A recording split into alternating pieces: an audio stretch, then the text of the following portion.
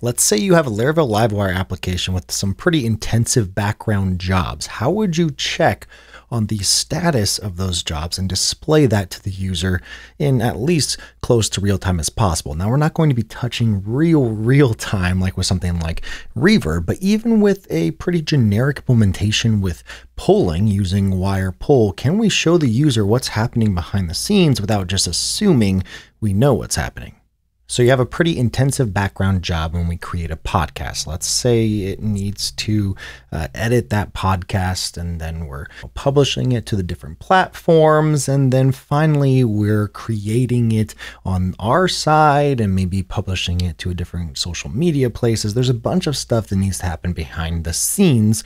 Well, usually if you're building something like this out, maybe the user doesn't need to know every single step of the process. Maybe we just assume, okay, everything is going to work out fine. If it doesn't, then maybe we'll uh, send an email showing that an error has happened, or maybe we can display that error later on down the road.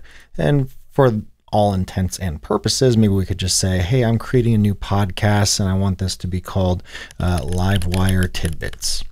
And when we create it, it's processing everything happening behind the scenes, but uh, maybe we don't necessarily know for sure if this is passed. Maybe it's like a two minute background job or maybe even longer.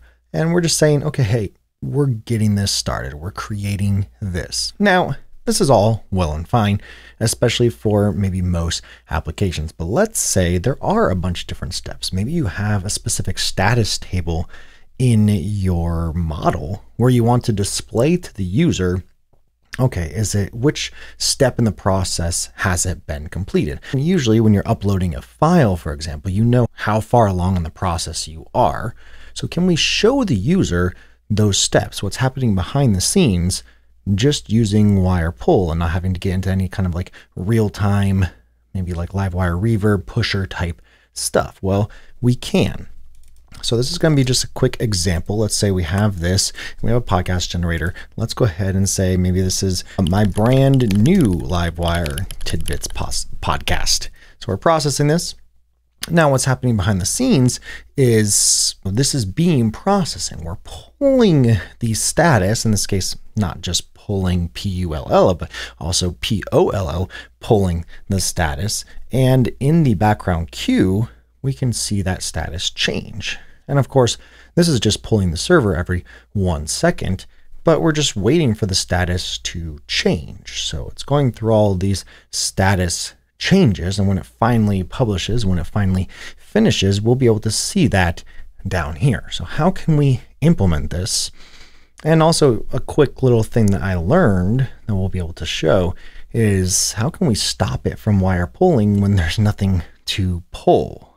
In this case, how can we remove the div that's being pulled, that's being that's telling the server, hey, I need more information, without any at least too flashy type of implementation. Let's dive into some code. Okay, here's the background job that's actually running. You can see here that we have some statuses that we're just looping through. This is just simulating what might happen with a long queued background job.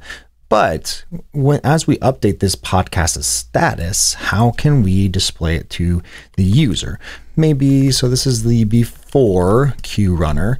Currently, this is just simulating, hey, it's five seconds. It's probably created. We're creating the podcast. Everything's good to go.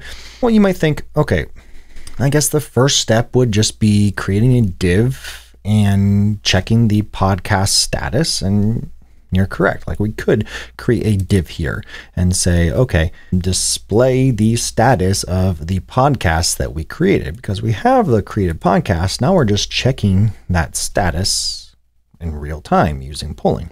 Well, yes, that's correct. But let's take a look at the implementation I have. First, we need to make sure that we have a created podcast to pull. And if we set it as null when the component loads, then we have something to start pulling. We can set the status. And then here's where I found actually interesting. And it's something that I've been looking forward to implementing in some of my own projects that I think this works fairly well. If you know of a different way, let me know for sure. But right here, we're just bringing all the podcasts where the pub where the value is published in that enum or enum. And then what we're doing is down here. If there is a created podcast, let's display this div. And because Livewire is Blade, because Blade you or Livewire uses Blade, and because Blade is server rendered, we have the ability. Because if you don't know about Livewire, anytime any of these functions run, the component is reloaded. In that sense, all of this blade is re-rendered. So when we run something like get status, in this case, uh, or when we run create and process podcast, for example, this automatically sets the created podcast, this variable, and then the component can reload, giving us the ability to show this div. So now we have this created podcast variable being server rendered, so it's not pulling behind the scenes unless it has been set, and we can start getting the status of the podcast. And of course, this function just tells it, hey, we're just pulling because wire poll has the ability to say, I want to only pull on a specific method.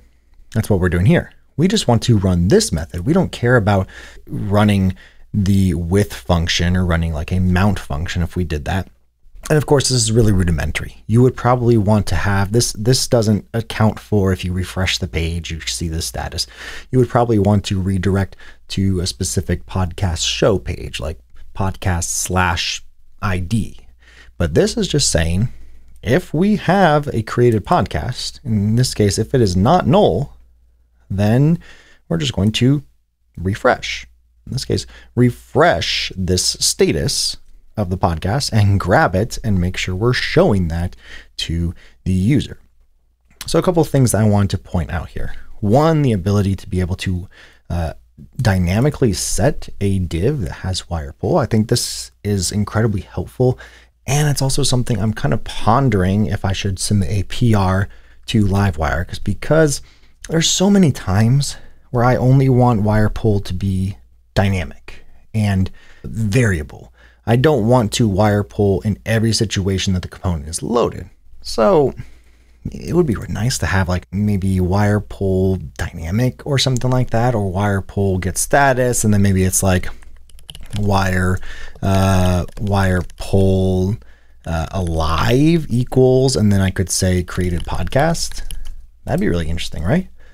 Uh, so I'm yeah, I'm just talking this through because I've been thinking of easier ways to do some of the things that I'm experimenting with in some of my projects.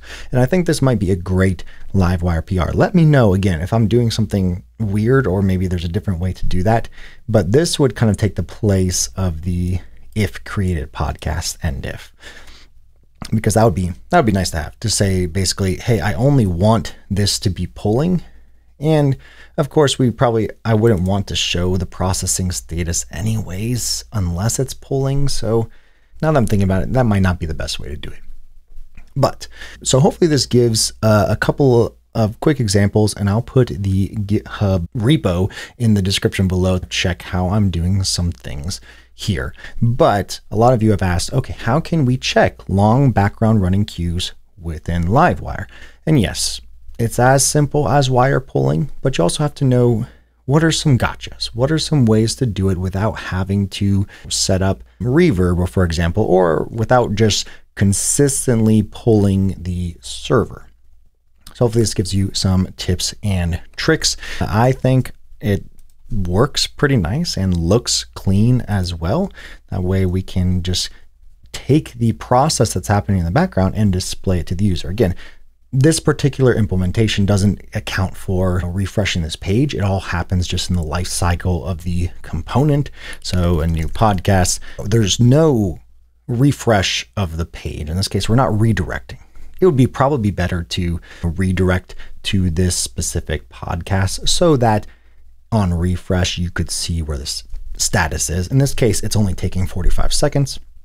But if it took 10 minutes, 30 minutes, that would be a great way to you know, consistently pull the server only when you need to, dynamically pulling the server, while also still showing the user where you are in the process. So, hopefully, this gives you some tips and tricks.